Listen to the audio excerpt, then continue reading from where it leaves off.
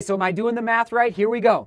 An eight week buildup, holding the peak volume for three weeks. So 9, 10, 11 weeks, and then the three week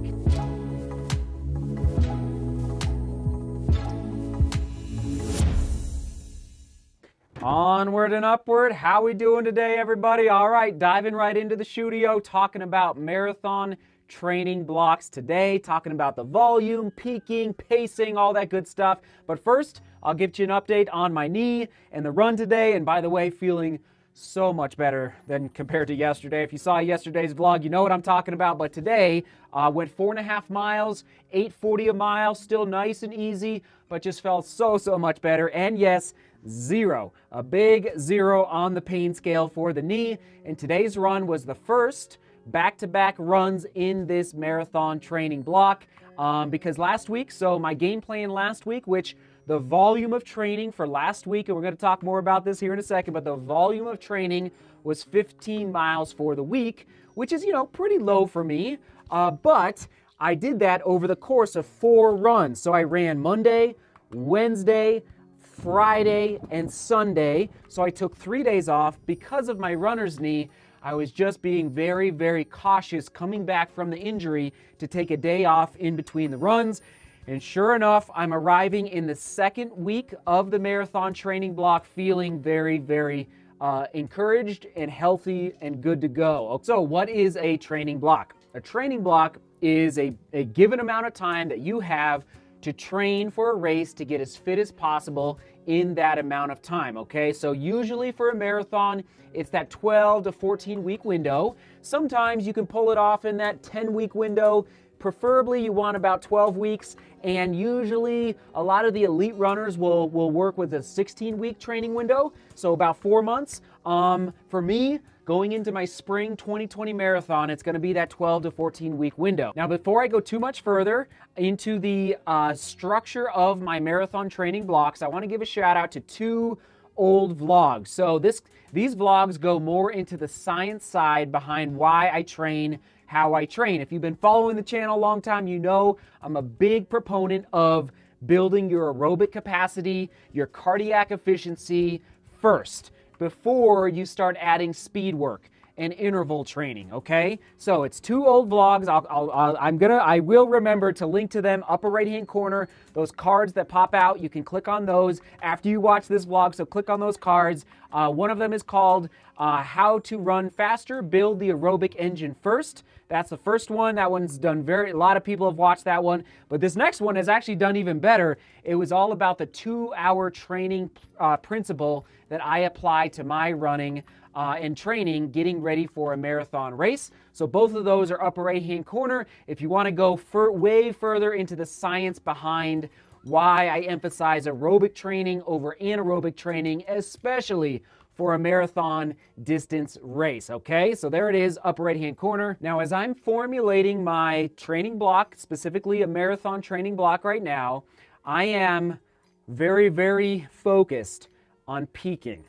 I love the art of peaking in a training block, okay? So, what do I mean? Peaking, for those that have never heard this before, is if the if the top of the mountain, the top of the pyramid is the is the, as fit as you can be, meaning you are you are primed and ready to go. Your talent level is being drawn out of you because, yeah, your natural talent level is being drawn out of you t- to the highest degree, okay? You're getting all that you can on race day out of your natural given ability, okay? So peaking. And for me, again, here's the pyramid. Here's your, at the bottom of the pyramid is that aerobic uh, base of training, that big aerobic base that I'm a big proponent of, the bigger the base of aerobic training, the higher, I believe, the higher the pyramid can be on race day, meaning the faster you can race on race day. So for a marathon training block for peaking, um, it's an art form, how to lay out your ascent in volume and what I already mentioned. So these are the four questions that I ask myself and that you can ask yourself as well in thinking about how do I structure my volume of training in a training block. Okay, so here we go. I have them written down here. Where should my volume of training start? Okay, I'll come back to that. How high should my volume go? How quickly should my volume get to that highest point? Okay. And how long should I hold the highest point of volume? Okay, before I start to taper. All right. Okay, number one, where should my volume of training start? Depends on a couple factors. The two that I look at mostly, there's some other factors, but the two major ones are experience level and injury history. Now, I'm coming off of runner's, runner's knee right now. Therefore, I'm starting a little lower than I typically would, okay? Last week, 15 miles a week, that's a pretty low volume of training for me in a given week. Usually, as I start a training block, it would be closer to 30, okay? Um, so that's, that's point number one. Number two, how high should my volume of training go? Or another way to say it, what's my max amount of miles or kilometers that I will be running in a given week? And this will vary once again from runner to runner. And again, it comes down to experience, injury history. There's some other factors as well. For example, do you live at 10,000 feet above sea level or do you live right at sea level? Okay. Uh, but for me, I'll just put a number out for you. Not afraid to say it. I plan, plan, emphasis, uh, yeah, asterisk, uh, emphasis on plan to run 120 miles as my highest volume in this next training block. Now, why did I say uh, asterisk or plan? Because I have to, you have to listen to the body. Not only every single day, but every single hour of the day. Like as soon as I get above 100 miles a week, you're just you're so tuned in to what's happening in your legs especially you just have to listen to the body to make sure you're not going down a path of injury okay so um, and then a number that i put out to folks that are curious like seth i have no clue how many miles i should be running in a week. Uh, for my marathon i often say if you can aspire to get to 70 that's a great I, when i get to 70 miles a week my fitness levels they start to feel i feel like my fitness really starts to come around. So that's the number that i often share with people is at least 70 miles a week okay? So that's number two. And number three here we go how quickly should my volume of training ascend to that peak point of 120 miles all right another way to phrase it in your mind is how long how many weeks does it take you to get there? And so you don't want to, you want a nice, slow, gradual growth. You don't want to, you don't want uh, two weeks or three weeks or even four weeks to get to that peak volume of training. For me, in this next training block, and again, I'm going to listen to the body, but I will be adding, and there's different, there's different strategies out there, but I like to add 10 to 15 miles a week. So if you do the math, for me, if last week I ran 15 miles,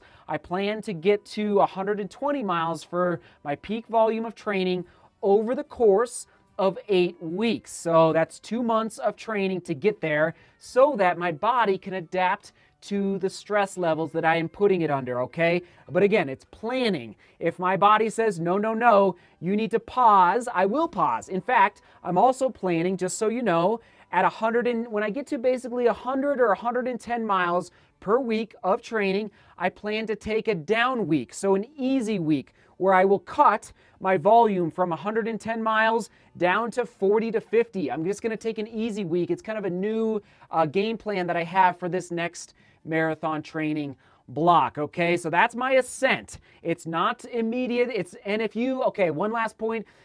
If you don't have experience with high volumes of training, I would not, do not add 10 to 15 miles a week.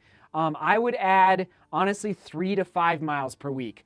And I would not be afraid, this is another tip, tip of the day, is to add, uh, go to, if let's say you've never run more than 40 miles in a week, I would go to 35 miles uh, in a week.